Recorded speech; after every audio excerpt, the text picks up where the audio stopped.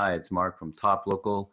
We're here with Bernie Pawlik, Pawlik Automotive in Vancouver, 21 time winners of Best Auto Repair in Vancouver. It's unbelievable. 21 times. Come on. Aren't there any other good places to get your car fixed? Well, maybe not. These are the guys that their customers vote for as being the best auto repair in Vancouver.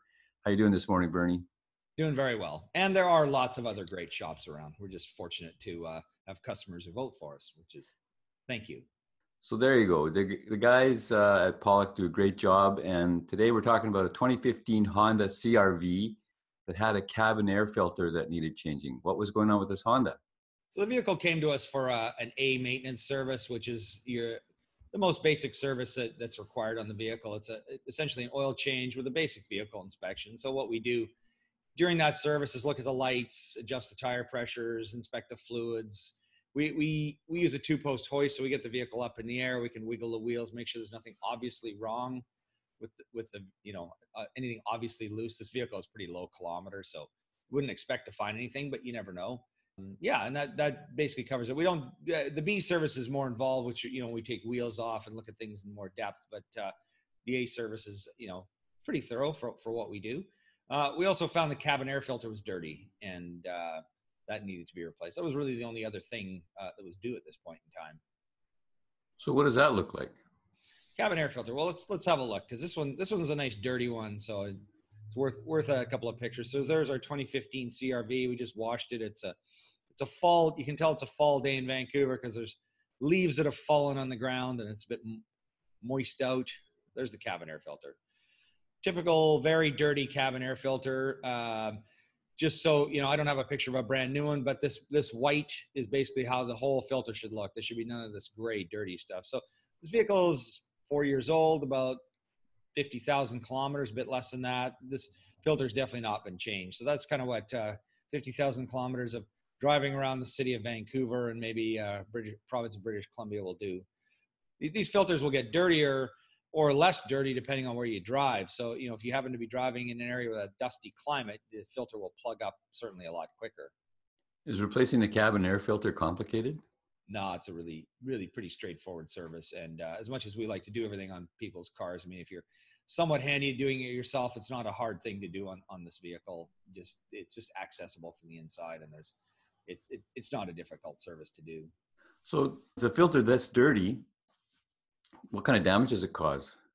Well, nothing really. And and uh, as bad as this filter is, we've actually seen a few that are even worse than this. But um, I mean, what can happen is is it can it can put some strain on the heater blower system because you're sucking against uh, you know a, a, a, blockage. But you know, we I don't I can't think of a, my whole automotive career where we've ever had one where you can sort of you know the motor straining and you can tell afterwards that, that it's working better. But clearly there will be some difference uh, in terms of how the air flows through the vehicle. But never seen any damage caused by one. But we have seen some, you know, tend to come apart, and they could, you know, get in and tend to, you know, block parts of the uh, heater blower, the squirrel cage fan. So, so again, it's important to change it on a regular basis. And, and regular, this car's four years old, so this, you know, this has got the most life out of it. It's probably gone a little too long, but probably every three years on average is a good time to do a cabin air filter in a car.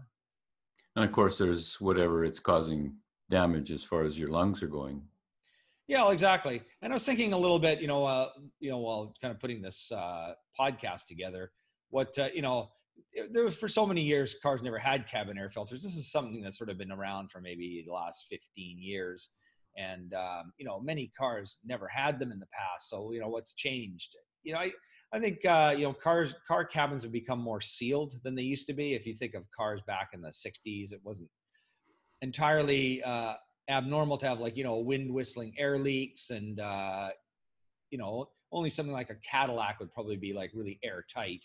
Uh, e- even then, it wouldn't be. So you know, there's there's a lot. You're kind of breathing a lot of air that's uh, in, a, in a more confined space. So you want to kind of keep it clean. Plus, you know, the world's getting uh, probably more polluted. People spend more time sitting in their cars and traffic jams. You know, diesel trucks and you know they're i mean those are cleaner than they used to be but you know city diesel trucks all all those kind of things i think contributed to the idea hey let's make the long driving experience a little more pleasant so not all cars today even have cabin air filters no not all of them uh, most cars i'd say do but uh, you know, a lot of times, you know, that's kind of a regular maintenance item we look for on on, on vehicles. And if it's a, a new client or someone who we haven't done the cabin air filter for, sometimes it's kind of surprising we find, oh, this car doesn't have one. Um, so yeah, I not every car has one. I'd say that probably 80% do. Uh, might even be that number might even be higher now, but uh, but yeah, not not not every car has one. And how reliable are the 2015 Honda CRVs? Well, I was going to immediately go, oh yeah, these are super reliable, like all Hondas, but uh, you know these are still a little bit new to us at our shop. Uh, you know, it seems like cars are a little older, we tend to we tend to service a little more frequently and haven't seen a lot of problems with CRVs. But these, uh, so I did a little research, and there's actually a, a number of complaints in these vehicles. Uh, engine vibration problems. Uh, not certain exactly what that what the cause of that is, but that seems to be about the biggest complaint in this vehicle: engine vibration problems. Interestingly enough, looking at the uh, newer CRVs of 2017 and 18, that they use a different engine.